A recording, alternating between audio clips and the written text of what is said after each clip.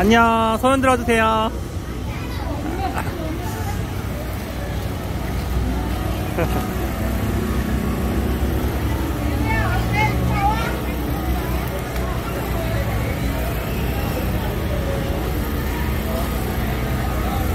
지우 손 흔들어 봐.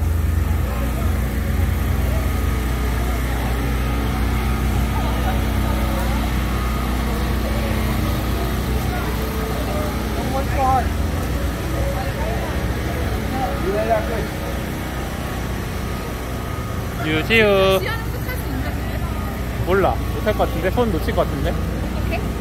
여보랑 같이 타야 되나? 만약에 못할 거, 못, 아 혼자 같이 탄다고 여보랑 어떻게? 어 아니면 아니면 취소?